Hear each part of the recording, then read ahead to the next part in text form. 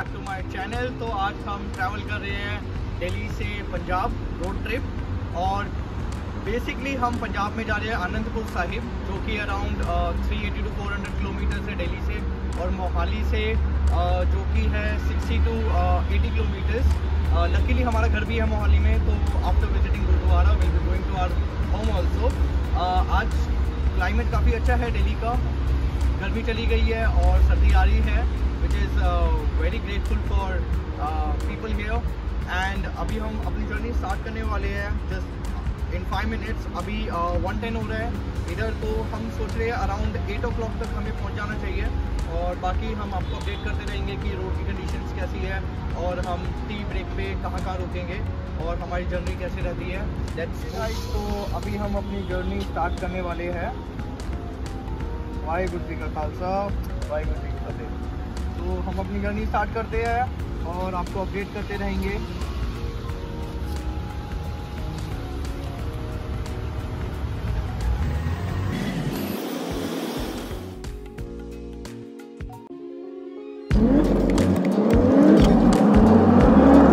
Hotel में कहाँ पे रुकेंगे?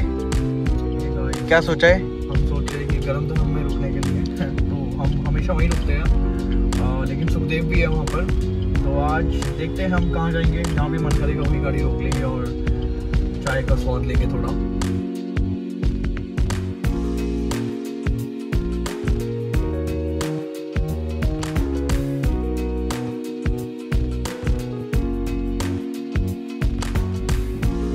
तो गाइस अभी हम पहुँच चुके हैं मूर्थल, और अभी हम बैठे हैं गरम गरम ढाबा पे चाय पीने के लिए। तो एक्चुअली नींद आ रही थी, थोड़ी तो सोचा उनके चाय पीने से है। तो ये हम, ये मेरा हमेशा हॉल्ट पॉइंट रहा है जब भी मैं पंजाब ट्रैवल करता हूँ। यहाँ पर काफ़ी ढाबे हैं ऑन द वे जो कि पूरी रात भर चलते रहते हैं और काफ़ी वीकेंड में तो काफ़ी ज़्यादा क्राउडेड रहते हैं, लेकिन आज ढाबा ज़्यादा क्राउडेड नहीं है और चाय काफ़ी टेस्टी है तो मेरी तो सारी नींद चली गई है। और साथ में ही हमारे सुखदेव का ढाबा है जो कि काफ़ी फ़ेमस है बट अपनी अपनी प्रेफरेंस के ऊपर है, कोई वो चूज़ करता है तो कोई ये चूज़ करता है। तो मैं तो यहीं बैठता हूँ आराम से, क्योंकि वहाँ बहुत ज़्यादा ग्राउंड रहता है कंपेरिजन टू और ढाबा तो गाइज़ अभी तक का सफ़र काफ़ी अच्छा था। बस दिल्ली में थोड़ा ट्रैफ़िक था, जो कि एक्सपेक्टेड नहीं था इतनी रात को। एक्चुअली यही रीज़न था कि हमने दिल्ली से रात को ट्रैवल स्टार्ट किया था पंजाब के लिए, ताकि ट्रैफ़िक नहीं मिलेगा हाईवे एकदम क्लियर मिलेंगे। लेकिन दिल्ली में for some reason we face traffic issues but अभी होपफुली सब कुछ क्लियर मिलेगा और अच्छा है। बिल्कुल इम्यूनिटी नहीं है और विंटर आने वाले है तो काफ़ी मौसम काफ़ी प्लेजर सा हो गया है। बाकी जर्नी देखते हैं कैसी रहेगी।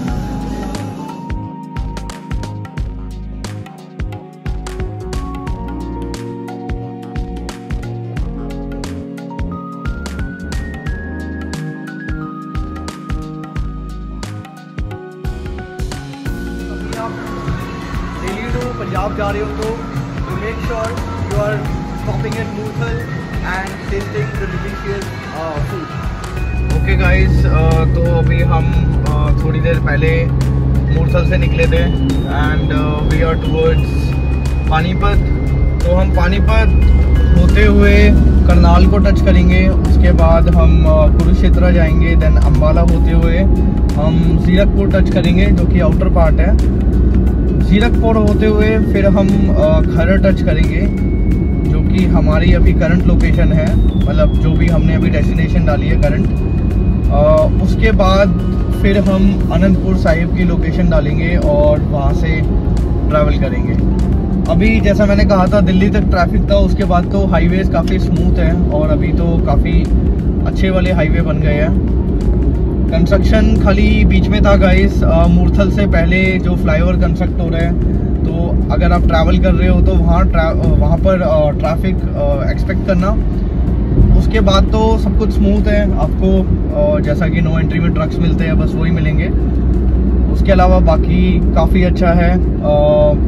The best thing we have here is we have night lights on highways which is the best and काफ़ी सेफ़ भी होती है वो क्योंकि कभी कभार होता है कि uh, हमारी कार की जो uh, जो लैम्प्स होते हैं हेडलैम्प्स होते हैं वो कभी हमें प्रॉपर विज़न नहीं दे पाते हैं तो उसके लिए काफ़ी सेफ्टी के लिए बहुत अच्छा रहता है। तो गाइस अभी हम चंडीगढ़ में थोड़ी सी दूर है चंडीगढ़ से अराउंड 50 किलोमीटर्स आप देख सकते हैं। चंडीगढ़ जाना है, सीधा ये हाईवे जा रहे हैं, पटियाला, लुधियाना होते हुए। दैन शिमला के लिए हमें लेफ़्ट होना है। तो बेसिकली शिमला भी हम चंडीगढ़ होते हुए जाते हैं। और हिमाचल जो हाईवे है, वो एक ही हाईवे है जो चंडीगढ़ से निकलता है। तो अभी हरियाणा यहाँ पर ख़त्म हो रहा है। अम्बाला का आप देख सकते हो कि यहाँ पर अम्बाला कैंट आया था अभी। तो हम एयरपोर्ट रोड पर चल रहे हैं। Towards Mohali if you can see the board Mohali city सामने दिखा रहा है और आईटी सिटी है, जो बेंगलुरु में है, वो लेफ़्ट हैंड साइड है। एंड एयरपोर्ट जस्ट चार किलोमीटर है इधर से। तो हमें सीधा जाना है। पहले हम एक्चुअली घर जा रहे हैं अभी तो प्लान थोड़ा चेंज हो गया है। पहले घर जाएँगे और फिर थोड़ा वहाँ पर रेस्ट करके दैन हम गुरुद्वारे निकलेंगे।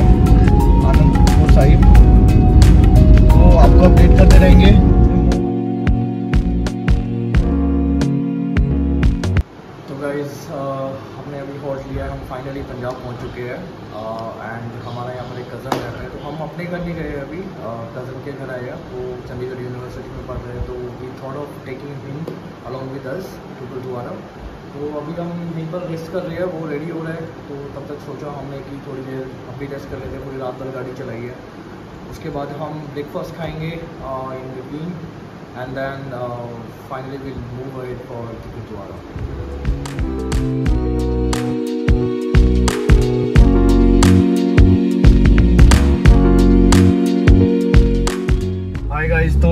अभी हम एंटर हो रहे हैं अनंतपुर साहिब गुरुद्वारे के।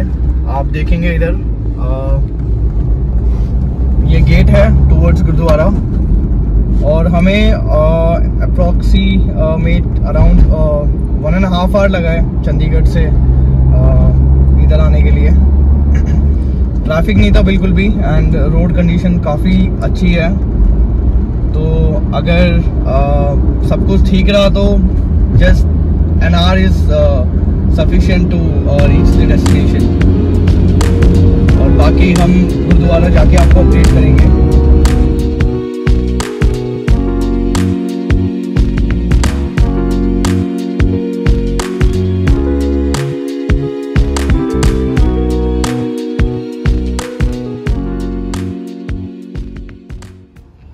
हेलो गाइस तो अभी हम पहुँच चुके हैं आनंदपुर साहिब गुरुद्वारा। आप देख सकते हैं मेरे पीछे। तो अभी हम आपको दिखाएँगे आ, कि आ, अंदर का व्यू सारा का सारा। बट एक आ, जो चीज़ है जो मेन चीज़ है ये गुरुद्वारा किसके लिए फ़ेमस है जो हमारे गुरु जी थे गुरु टेक बहादुर जी एंड गुरु गोविंद सिंह जी। उन्होंने इधर 1699 में खालसा की स्थापना की थी। So Guru Gobind Singh ji was the one who founded the Khalsa Panth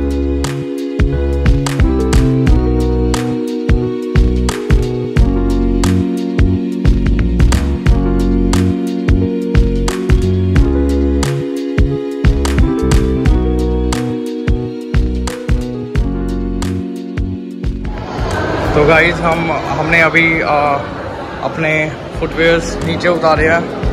और अभी हम अंदर जा रहे हैं। तो ये रास्ता है अंदर जाने का। काफ़ी अच्छा गुरुद्वारा है।